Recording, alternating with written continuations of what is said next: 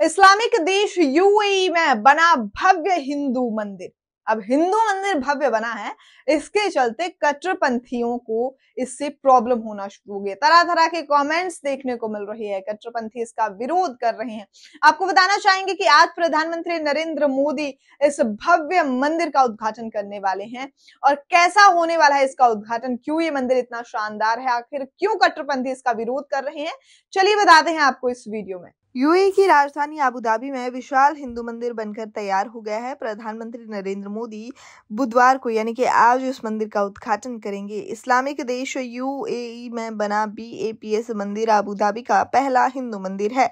इसे 27 एकड़ की ज़मीन में बनाया गया है, जिसमें साढ़े तेरह एकड़ में मंदिर का हिस्सा बना है और बाकी साढ़े तेरह एकड़ में पार्किंग एरिया बनाया गया है। भारत में यूएई के राजदूत अब्दुल नासिर अल शाही ने जहाँ मंदिर उद्घाटन को यूएई के लिए खास मौका बताया है। वहीं कई कट्टरपंथियों ने सोशल मीडिया प्लेटफॉर्म पर यूएई और वहाँ की सरकार पर जमकर निशाना साधा है। सोशल मीडिया प्लेटफॉर्म एक्स पर एक यूज़र ने लिखा है, अब देशों में भी मूर्ति पूजा मतलब अब अरब में भी हिंदुत्व को अपना सकते हैं। वहीं अन्य यूज़र ने लिखा है, अरब देशों में मूर्ति पूजा प्रलय का दूसरा मानवीय रूप है। इसी तरह के कई अलग अलग यूज़र्स कमेंट्स कर रहे हैं। आपको बता दें कि ये पहली बार नहीं है जब इस्लामिक मुल्क में हिंदू मंदिर खुलने को लेकर आपत्ति जताई जा रही है।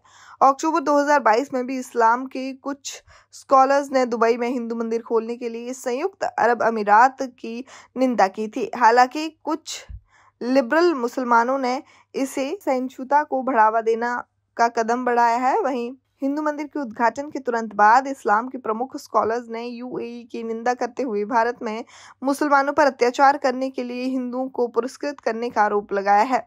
मिस्र के Islamic scholar Mohammed Al Sagar ने कहा है कि जब भारत में मुसलमानों को प्रताड़ित किया जा रहा है, मस्जिदों को तोड़ा जा रहा है, उस समय यूएई हिंदू मंदिर का निर्माण कर रहा है।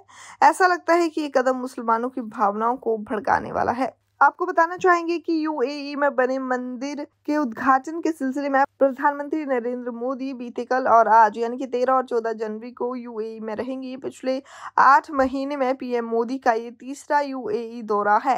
इस दौरान पीएम मोदी कत्र भी जाएँगे। मंगलवार को सोशल मीडिया प्लेटफॉर्म एक्स पर जानकारी देते हुए पीएम मोदी ने लिखा है, अगले दो दिन में विभिन्न कार्यक्रमों में हिस्सा लेने के लिए यूएई और कत्र का दौरा करूँगा, जिससे इन देशों के साथ भारत के द्विपक्षीय संबंध और गहरे होंगे। आपको ये वीडियो कैसी लगी हमें ज़रूर बताइएगा और आप इसी तरह की खबरों के लिए देखते रहिए रिपोर्टर जी।